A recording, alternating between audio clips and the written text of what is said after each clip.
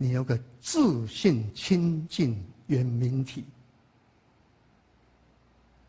哥，我告诉你，不管你现在还是往生，文成印坏在讲这个道理，只要你深信，说的一切，各位就是说跟你们讲的嘛。现在脑波作用在往生的那一刻，脑波作用会最激烈。各位，你不要不要怀疑，这医学有证明。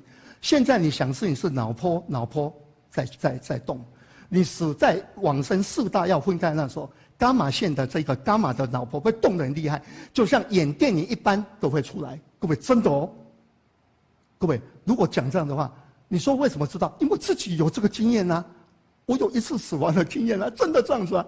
可是各位，我非常的感恩。各，为什么学佛那么久就用在那一时啊？各位，我就躺在那边。其实我不知道我有没有躺，就在看演电影一般。各位仔细听哦，任何的情节我都不停留。各位的人生里面、现实里面有出现了非常让人家难以忍受的痛苦。可一生里面，当然。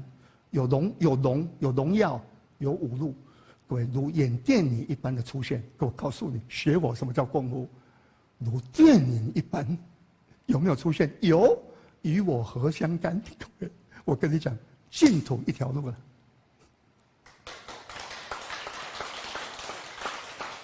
各位，你要懂得啦，这个叫做叫真正的净土法门呐。那为什么要持阿弥陀佛？为什么要持这个名号？为什么？除了这个名号它有能量场以外，这个名号是引你的本心出来，它是这个用意，而不是这个名号会把你带往西方这个净土。各位不要误解，听得懂不懂？西方这个净土怎么去的？弥陀不来而来，那各位呢？行者心事不往而往，都在当下。当下的那一个不来不往的那一个，才叫做净土。